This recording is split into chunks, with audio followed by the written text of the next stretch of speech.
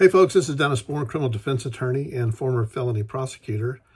I want to talk to you today about uh, what to not do uh, when you're pulled over by a police officer. Now, most of us are going to get pulled over at some point by a police officer.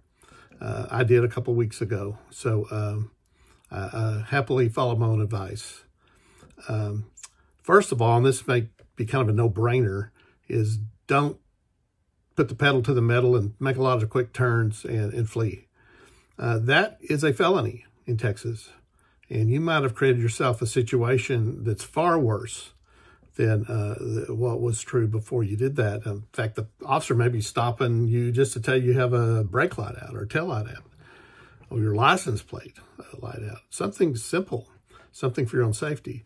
Uh, and you cause uh, yourself to open up for liability for a felony uh, felony charge. Um, also, do not make any gestures. I mean, it's called furtive gestures in the law. That just means where it looks like you're trying to hide something or making a lot of fast moves, a lot of commotion in the vehicle. Uh, this will cause the officer to be pretty nervous. In fact, keep your hands visible. Uh, put them on the steering wheel, or if you choose, stick them out the uh, driver's side window uh, officers will uh, appreciate that, and that, that might give you a better outcome because that's uh, a courteous thing you can do because they, they do a very dangerous job. Uh, think about it. I mean, uh, police really are uh, putting their lives on the line every time they approach a vehicle. Um, now, one thing to always do, of course, is give your identifying information, your driver's license if you're driving. Uh, of course, you don't really have to identify yourself in Texas, but you're going to end up doing that by giving them your driver's license.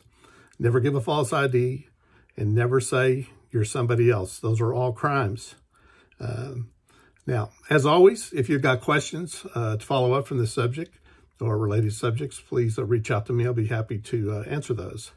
And uh, keep your video app ready to go on your smartphone.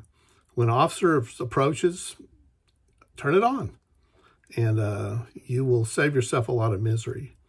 Uh, remember also, uh, anytime an officer is asking you questions and you're in the least bit, uh, you're the least bit uh, uncomfortable, uh, just say, look, I'm not comfortable going forward without speaking to my attorney.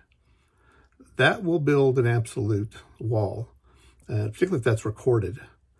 Anything that's done after that point uh, will not be admissible as evidence uh, unless you blurt out something uh, without question. So, uh, of course, don't do that either. I hope this was helpful information.